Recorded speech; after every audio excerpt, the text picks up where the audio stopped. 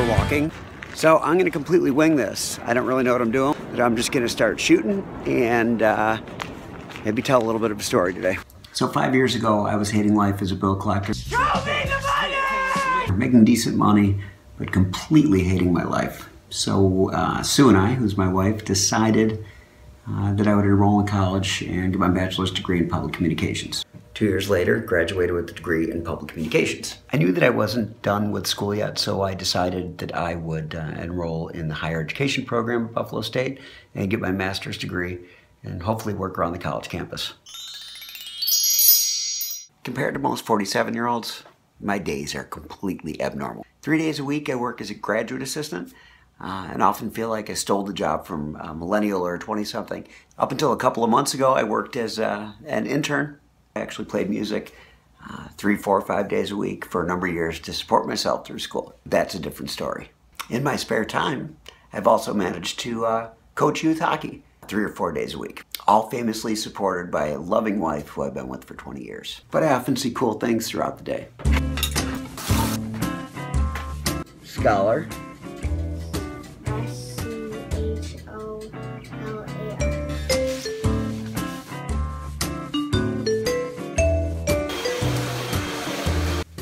6.30 hockey, this is what I love. Welcome to Torrance, this is Nina, how may I help you?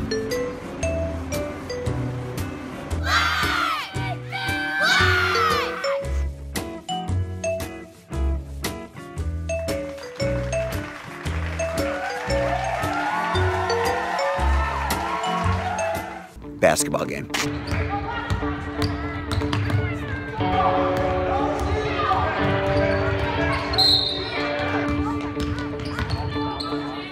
Struggle that I always had when I thought about creating a video blog uh, was wondering what I was going to say and why would anybody want to listen. I still struggle with that.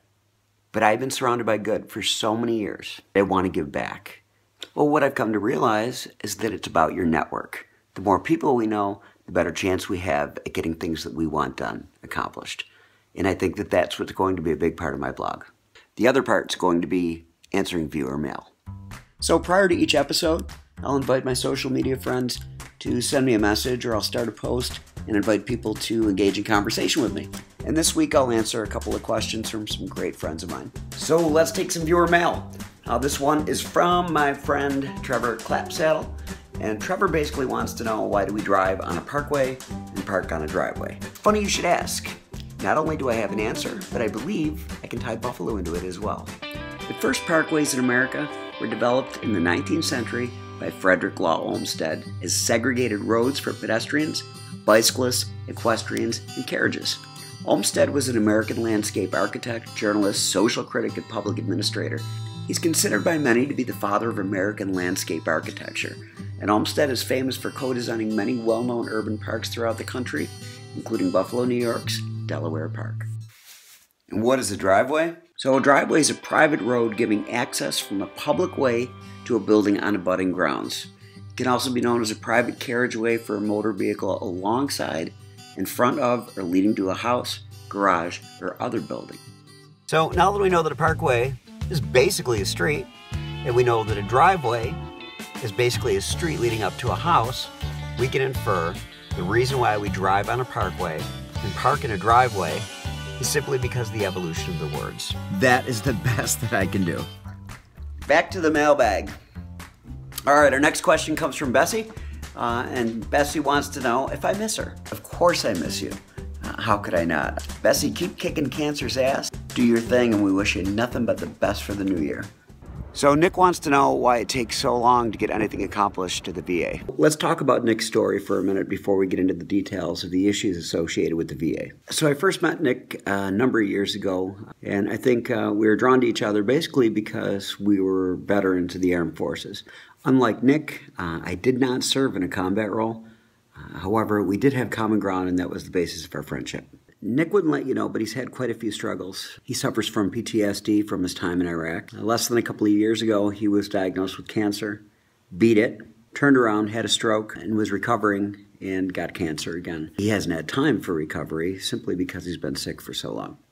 With the help of some of our friends, we're going to find some relief for Nick and get him the help that he needs. So, getting back to your question, why does everything take so long at the VA? Well, here's the answer there are just entirely too many veterans. There are still currently 1.7 million World War II veterans. There's nearly a million Vietnam veterans uh, about to turn 65 this year. There's 1.5 million veterans that are at least 85 years or older. And now we're starting to see issues associated with the Iraq War in the veteran population. So, where do we start? I don't know. I don't know how we fix it. I don't have the answer to this one. Something we're going to have to continually work on as a country. And hopefully we have the right people in place to do so. I think the first thing that we need to do is get you some therapy. I called in a favor to my friend Mark Zarbo of Mark Zarbo Hockey. Mark called Julie, his boss and owner of Advanced Care Physical Therapy, and Julie uh, eagerly decided that she would like to take you on as a patient uh, and get you moving again and get you the exercises that you need until you can get back into the VA. So my friend Tina called her friend Larry, and Larry called in some favors with a chiropractor and uh, some massage therapists, and we're going to hook you up that way too, Nick. So that's it. My first video blog or vlog is done.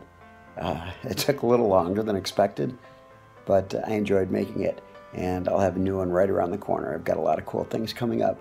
When you get an opportunity, send me an email at darrellporter at live.com. And a big shout out to everybody that uh, participated in this blog.